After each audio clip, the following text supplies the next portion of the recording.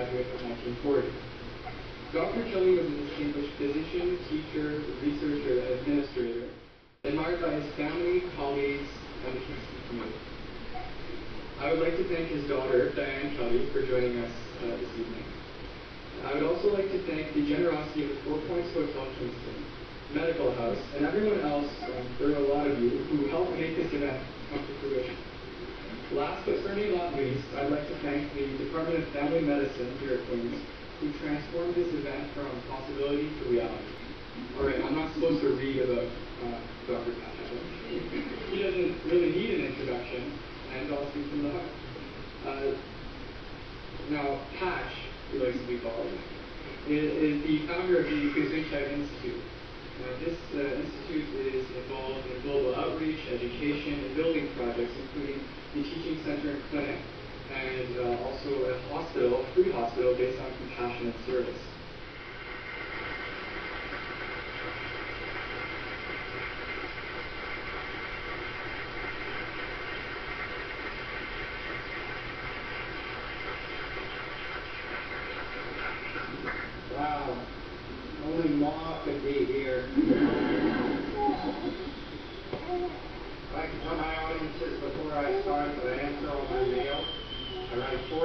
500 longhand letters a month. I'm caught up. I uh, have never used a computer. So don't send me an email. I don't know what to do with an email. In fact, I have to send you to our website, and I've never been to our website. That's adams.org. My address is there. So if uh, you're stimulated or irritated, feel free to write. I've never not answered a letter. So you didn't get an answer, your return address sucks. or you never got to me. The title of this lecture is The Joy of Caring. When I started lecturing, I wondered what did I have to offer. It's not a business for me. I want revolution. I want a world where no one alive can remember what the word war means. And I feel that that's what all of my work is devoted to, the ending of violence and injustice. And I 50 presentations. This was the second one that I did because in thinking what I had to offer, I, I have to offer burnout-free medicine. It is impossible to burn me out. I will die, but that will not be burnout. So I, I wanted to celebrate care in this presentation. I entered medical school in 1967 to use medicine as a vehicle for social change. I am a political activist. I want a transformation from a world that clearly values money and power over the one that values compassion and generosity. Without that change, I don't see any hope for human survival in this century. I'm a nerd. In the 50s, I got involved in full systems thinking, cybernetics, and it's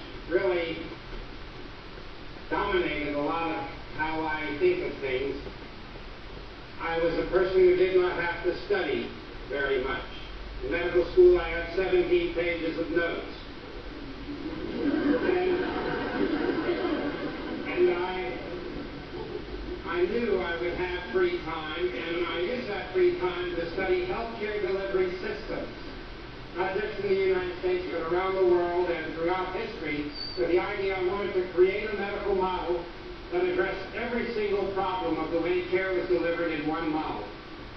Not just the problems in the United States, since most of the problems I, I we address are problems that are universal.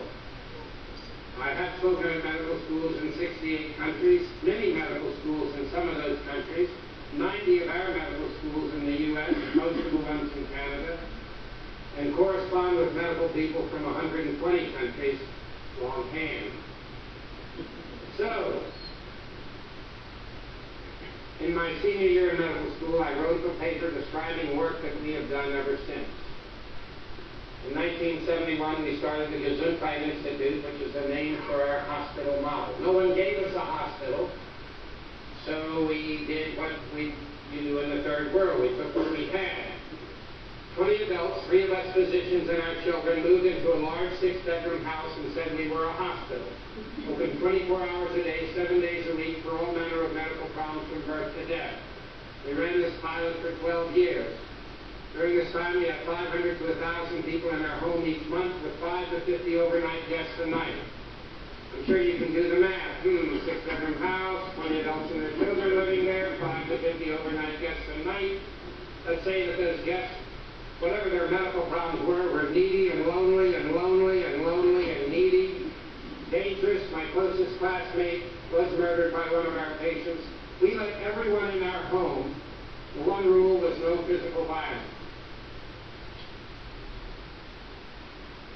Never in our history 39 years have we charged money for any medical care that we've done. It wasn't that we were free for poor people. We wanted to eliminate the idea of debt in the medical interaction. We never wanted anyone to think something. We wanted them to be excited that they belonged to something called community.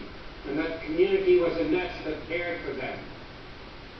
So in that same flavor, we never had anything to do with private or government insurance. I've never seen an insurance form. They control the way practice is given in the United States, and we are out of control. If universal coverage or single payer passed in the U.S., we would not accept it if it had any interest in controlling anything that we did. Probably the most radical thing we've done as far as the inability we've had to get funding is that we're the only medical group in the U.S. refusing to carry malpractice insurance.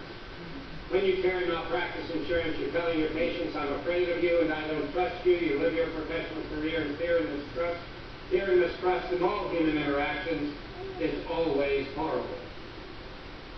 We need the right to make a mistake. Medicine is not about curing, it is about caring. The sooner one gains a humility when they practice medicine and realize how little they actually are really going to be able to cure, the better they will be. What did I want with my patients?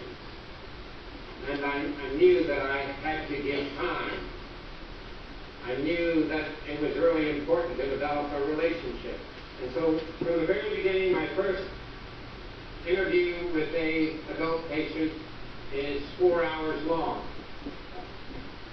It is the most intense four hours I think any of them ever had. I ask every question sensitive to life. If I see any squiggly lines, I ask question number two. I don't think it was that people were able to hide themselves from me.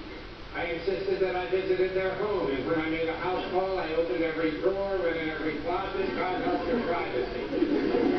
I apologize, you asked me to be your doctor. In the four-hour interviews that I've done for now really 42 years, I found less than 3% of our population has self-esteem. I love me. I found less than 5% with a day-to-day vitality for life. I love life. I love life. And they weren't coming for those problems. And I'm not talking about the patients who came with mental illness.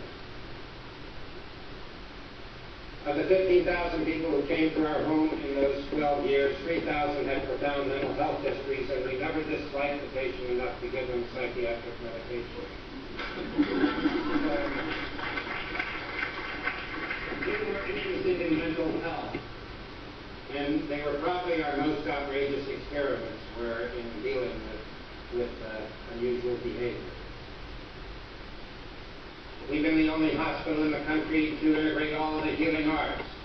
It was against the law when we started, and yet from the very beginning we welcomed acupuncture, homeopathy, naturopathy, chiropractic, Ayurvedic, anthroposophic, herbal medicine, body work, faith healing, and some strange we let any practitioner come and work with us as long as they were free and let us watch.